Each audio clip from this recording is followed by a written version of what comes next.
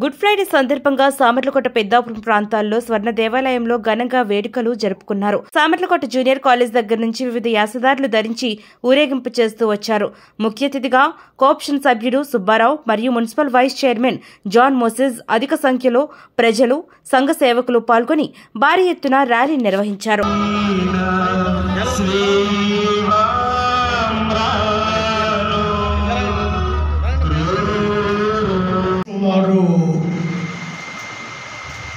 సిలువలో వేలాడుతూ యేసుక్రీస్తు ప్రభువారు సిలువలో వేలాడుతూ మహాశ్రమను అనుభవిస్తూ మానవుల యొక్క పాప క్షమాపణ కొరకు మానవుల పాప క్షమాపణ కొరకు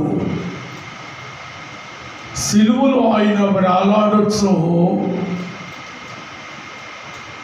వారు